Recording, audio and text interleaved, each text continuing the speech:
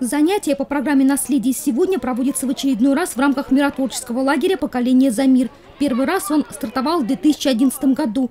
Тогда Сочи принял свыше 100 участников из России, Грузии, Армении, Азербайджана, Боснии Герцеговины, Македонии, Сербии, Украины и других стран. Это проект э, именно э, принадлежит э, Его Величеству принцу Фейзалу, члену МОК и создателю организации «Поколение за мир».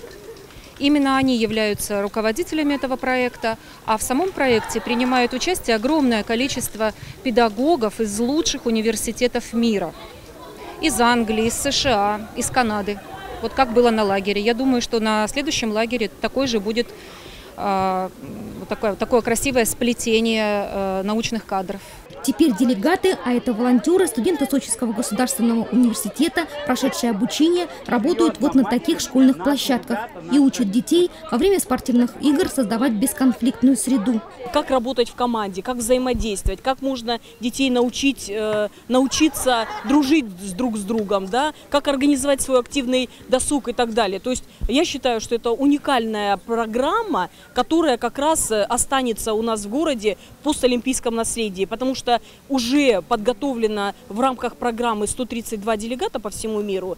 Из них э, э, уже порядка 40 делегатов наших, вот, и в том числе сочинских. Другими словами, ребята учатся быть дружными. Вот, например, все вместе они тренируются приветствовать сочинских олимпийцев. Пока не все получается, но на то она и учеба, чтобы научиться. Я добавляю свой опыт и беру богатый теоретический материал э, от иорданских специалистов, которые разработают этот модуль.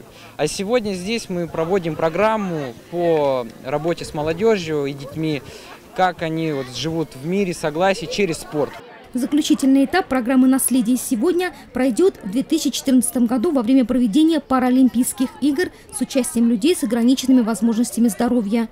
Елена Овсецина, Борис Осин, телекомпания «ФКТ».